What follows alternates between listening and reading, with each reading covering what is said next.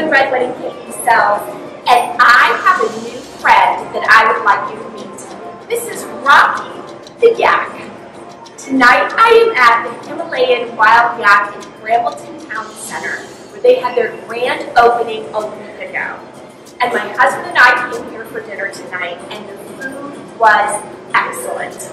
I had the opportunity to talk with the owner, to get a better understanding of what exactly is Himalayan food.